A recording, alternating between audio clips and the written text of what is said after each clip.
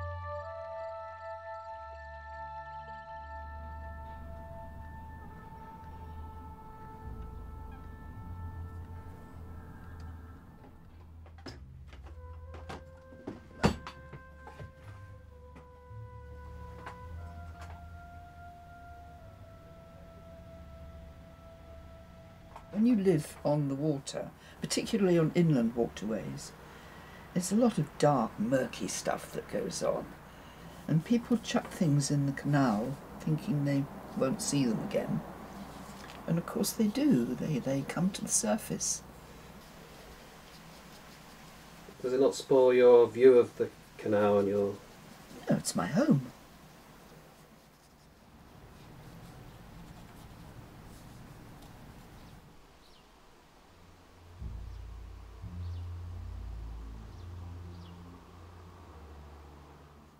You know much about the woman that was killed? Well, this latest one, the, the one in the in the was it? There was one in a shopping trolley came off the bridge up there, and there's another one just been found in a suitcase. Is that right? Yeah. Mm. No, I don't know anything about it. No, I just heard on the grapevine there'd been another one found, and uh, that was it. I don't know who it is or what the circumstances were. And you're not interested to, know that? Well, interested in a way, yes, if I get any more gossip, but um, I'm not going to make an effort to find out. Because, poor soul, she's dead.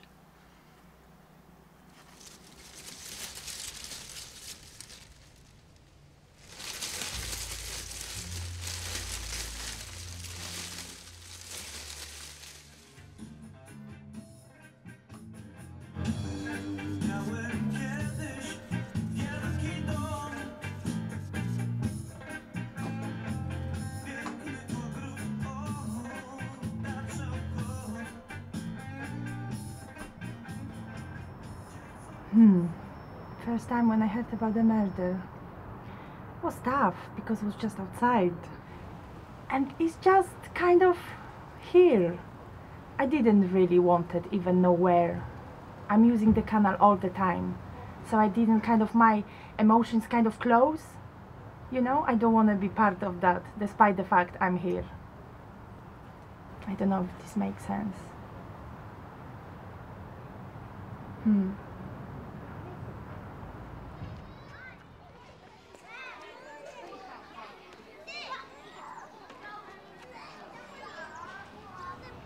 The lady, they found her in the suitcase. She was Polish, so she was kind of one of me, you know? Which is even makes sadder that this, I mean, I don't know. I probably would feel more comfortable when she wasn't Polish. Hmm.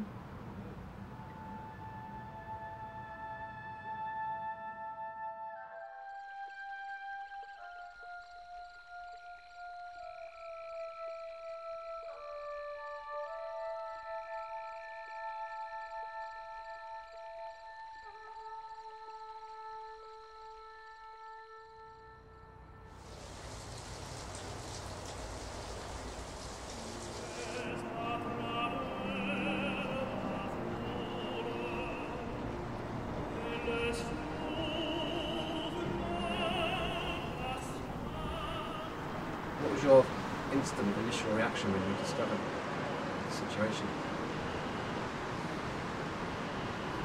Honestly, I have to say I wasn't really too bothered. Um, there's a lot of things happened around here, so it was just another event in a list of events and things that happen.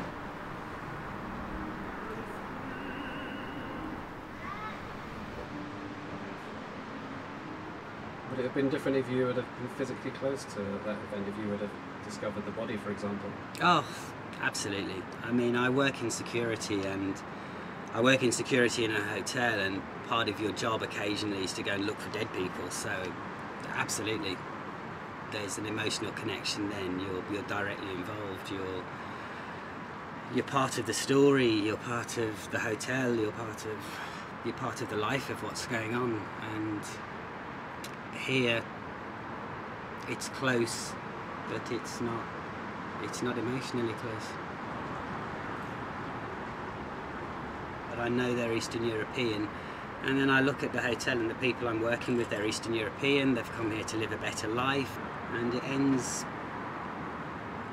It ends brutally for the victim and then for the perpetrator. Just where are you that you do something like that? Just, just where have you gone?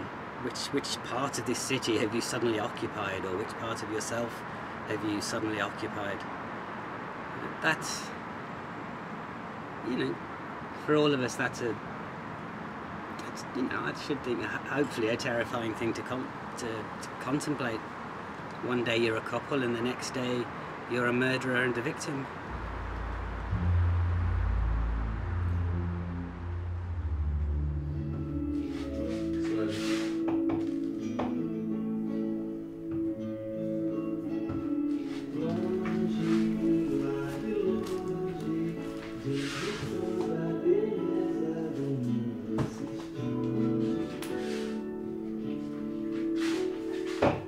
If you think about it, the person who did that, he left the luggage two miles away from here. So this luggage with this person was was floating from where the guy left to here. It's like no one cares about it, isn't it? No one didn't thinking about what is inside this luggage. Why this luggage is floating on the water?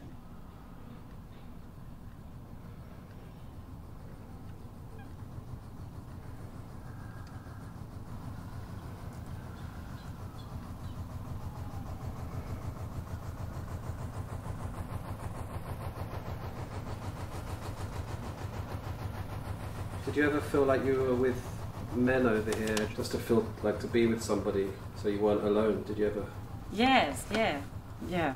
It's like a searching for a um, good person to be on your side.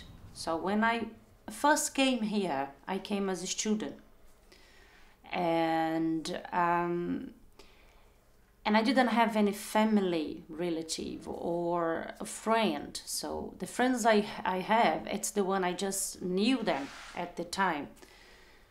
And the lonely you feel when you are here, it's very deep. It's like you evaluating money more than a family, more than feelings, more than love.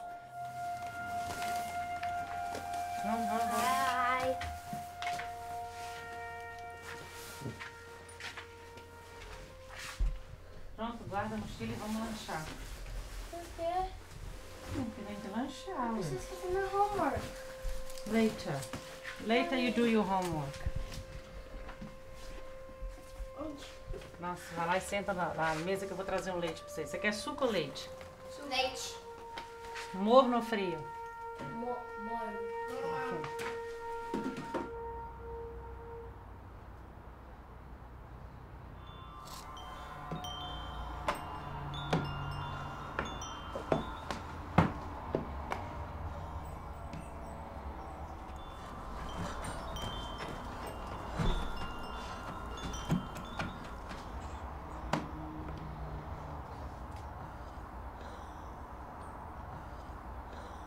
Gina, when you first heard about the, the murder, what was your initial reaction? Well, due to past experiences, I blanked it out. I didn't want to know. What do you mean you blinked it out? When you get sexually attacked, you are frightened, and you takes a long time to get over the fear, and then certain things have flashbacks. And you, you you go back there for a second or two, and then you think, no, straighten up and fly right.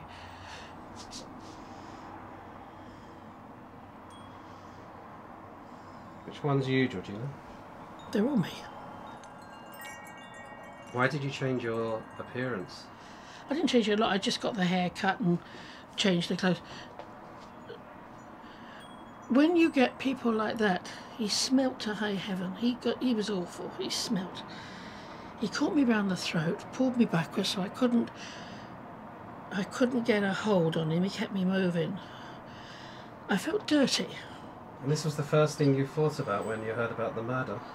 I'm not thinking of that, but that came into it, you know. I don't want to know because I know what I've already been through and I know how I had to straighten myself up. But that woman didn't have the chance to straighten up, fly back. She she was dead. I wasn't.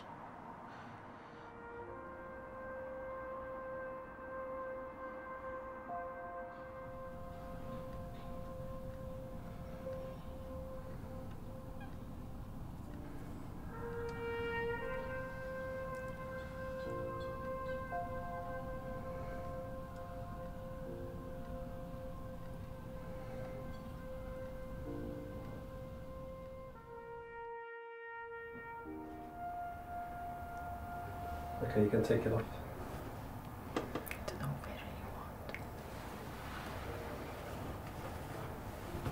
want.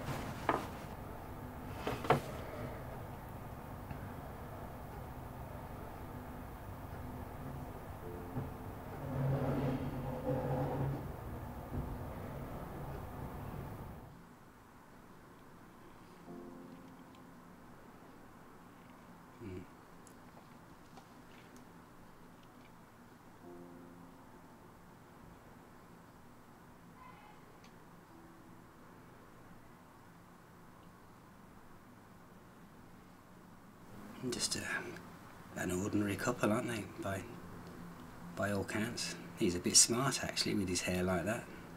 Shaved at the side and his his spiky top there. Like a dozen people I work with every day. Both of them actually. It's very real.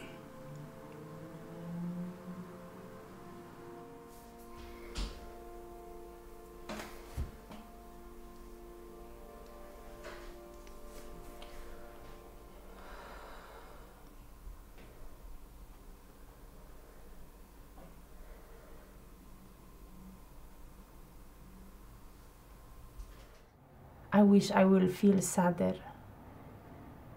Why? I don't know. I think kind of. It's just a photo. I don't really kind of see this as a something real.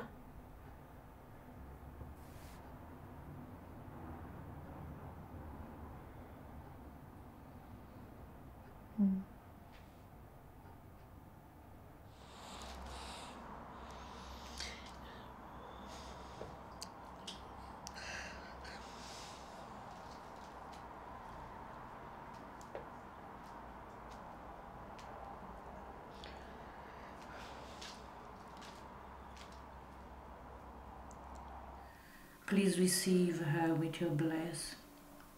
Hold her because she has been suffered a lot. I know her soul is with you right now. Please embrace this lady and have a mercy for this man. Amen. Do you have any desire to see an image of the of the girl? Not really, no. No. I think I've probably seen so much that I'm not really interested anymore.